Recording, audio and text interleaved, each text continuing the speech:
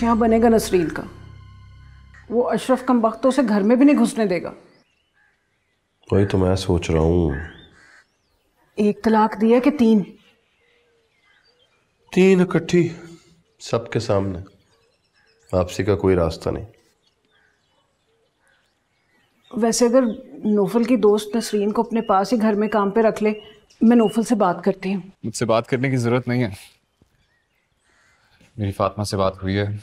वो कह रही है कि नसरीन कुछ देर उसकी तरफ़ रह सकती है। फिर उसके बाद आगे देखते हैं क्या करना है। ये तो बहुत अच्छी बात है। अल्लाह तुम्हें इस नेकी का अजर दे।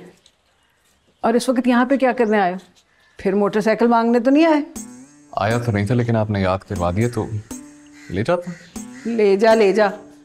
नहीं तो रशीद ने साफ़ कर करके उसका रंग ही उड़ा देना है। पता है जब आया तो लाल रंग का था। इसने रगड़ रगड़ के उसे कलेजी कर दिया।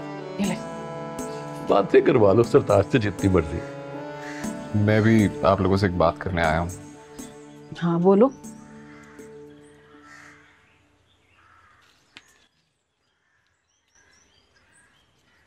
मैं मीनू को पसंद करता हूँ। मैं जानता हूँ मैंने आपसे वादा किया था कि मैं उससे नहीं मिलूँगा लेकिन मैं मिला उससे। आज। इससे पहले कि कोई दूसरा आपको बताए और आपको अफसोस हो। मैंने सोचा मैं खुद इकरार कर लेता मैं यहाँ बाइक पे उसे कॉलेज तक छोड़ने गया था।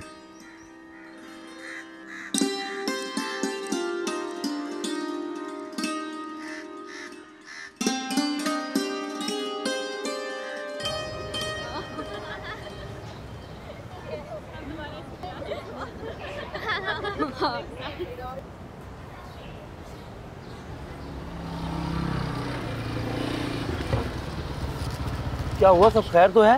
पता नहीं भाई पेट में बहुत दर्द हो रहा है। अम्मा से कहा भी था मैंने पुरानी दाल मत खिलाओ मुझे। उसी दाल का काम है डॉक्टर के पास ले जाओ। मर रही हूँ मैं। अच्छा चल चल बैठ। भाई जल्दी चलाओ बहुत दर्द हो रहा है। अल्लाह खैर करेगा दस पंद्रह मिनट सबर रख। केसर कला की तरफ़ ले लो। करीब ही है। वहाँ डॉक्टर को दिखा दो। खुदा का वास्ता जल्दी चला लो। जल्दी कर लो जल्दी कर लो भाई।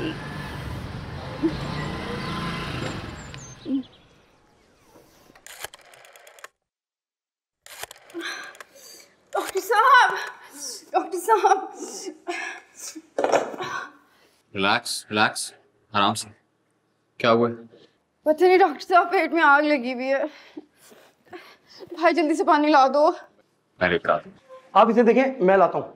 अब सुनो ये बाहर बरामदे में कूलर पड़ा। है जी। हाँ बताओ क्या हुआ? है कब से हो रहा है दर्द? बहुत दर्द हो रहा है डॉक्टर साहब। दो घंटे हो गए और क्या खाया था? दाल खाई थी। बचाओ बचाओ। बचाओ।